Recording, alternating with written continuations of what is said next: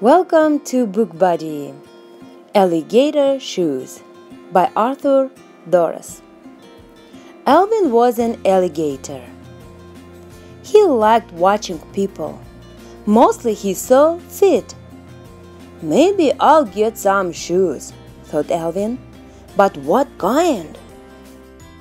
He went to the shoe store. He looked at shoes and shoes. The store closed. I'm locked in, said Alvin. I'll try on shoes, he decided. He tried on cowboy boots, running shoes, dancing shoes, hiking shoes, climbing shoes, basketball shoes, rain shoes plain shoes, going on the train shoes, and sandals. Then he fell asleep.